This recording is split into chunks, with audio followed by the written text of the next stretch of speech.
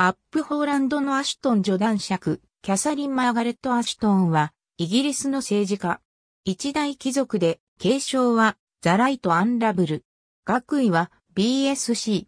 労働党所属。同国貴族院院内総務、枢密院議長、欧州委員会通商担当員を歴任し、2009年12月1日からは、リスボン条約の発行によって新設された欧州連合外務安全保障政策上級代表を務めていた。アシュトンはロンドン大学を構成するベルフォードカレッジで経済学を専攻し、1977年に社会学で BSc を取得した。1977年から1979年にかけては各兵器廃絶運動に参加し、本部財務責任者や副代表を務めた。1983年には社会福祉訓練委員会で務めていた。1983年から1989年にかけてアシュトンは労働環境における不平等問題に取り組み、身体障害者労働機会に関する雇用主のフォーラムを設立した。1998年から2001年にかけて、ハートフォードシャー保健当局や自らの子供が通う学校の理事会のそれぞれの長を務め、また全国片親世帯協議会の副会長に就任した。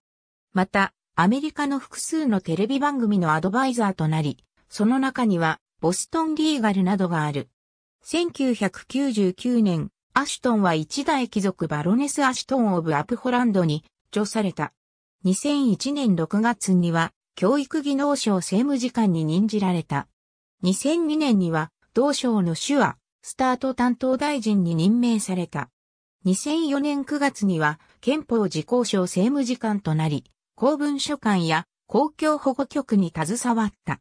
2006年には、枢密院の職に就き、2007年には新設の司法省で政務次官に就任した。2006年、アシュトンはストーンウォールアワーズのポリティシャン・オブ・ザ・イヤーを受賞した。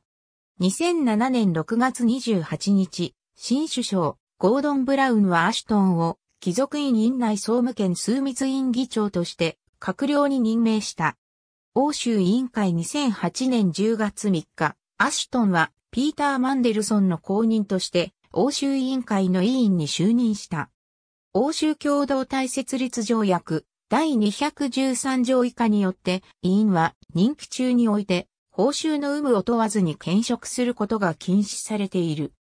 アシュトンが正式に委員に就任するために、1984年のアーサー・コックフィールドと同様の手続きを経て、2008年10月14日に、貴族としての称号を残しつつ、貴族院議員の資格を停止することとなった。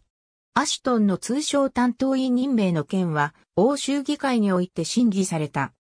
特にイギリス選出の保守党議員ダニエル・ハンナンは、当時欧州連合がカナダ、韓国、世界貿易機関との間で重要な協議がなされていた状況で、通商問題における経験がないアシュトンの任命は適切ではないといった批判を展開した。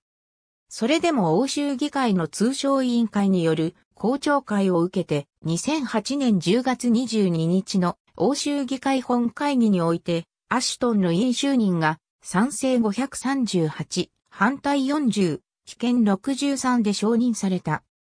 外務安全保障上級代表2009年11月19日にブリュッセルで開かれた欧州連合加盟国首脳による非公式会合において加盟各国の首脳はアシュトンを欧州連合の初代欧州連合外務安全保障政策上級代表に指名することで合意した。人選にあたっては、ファンロンパイが右派であることとのバランス上、欧州社会党出身者であるという条件が共通の認識となっていた。ゴードン・ブラウン首相は当初、デービッド・ミリバンド外相の起用を模索していたが、本人から誇示された。そこで EU 側からも女性を要望する意向があったため、アシュトンに白羽の矢が立ったとされているが、国際的には全く無名なばかりか、英国内でも養殖の経験が少なく、短期間の欧州委員を除けば、外交経験が皆無だったアシュトンの起用は関係国に失望を与えたとされている。上述のように EU 外相を担う人物としては、経験などにおいて疑問視する声が多かったが、着任後もドイツから欧州対外行動局のポストを英国人で固めようとしていると批判されたほか、2010年2月にはウクライナ大統領の就任式を優先し、NATO-EU の会合を欠席したため、フランス、オランダ、スペインの国防省が揃って非難し、波紋を呼んだ。EU 内での評判も芳しくなく、外交官としての本能に欠け、外交政策が理解できない、夜8時以降は連絡がつかない、週末は家族とイギリスで過ごすなどといった陰口が叩かれ、EU 本部の警備員も顔を知らず、追加されたことがあるという。2012年には EU の会合のうちに3を欠席したとされ、EU における英国の存在感の低下を招いていると指摘された。ありがとうございます。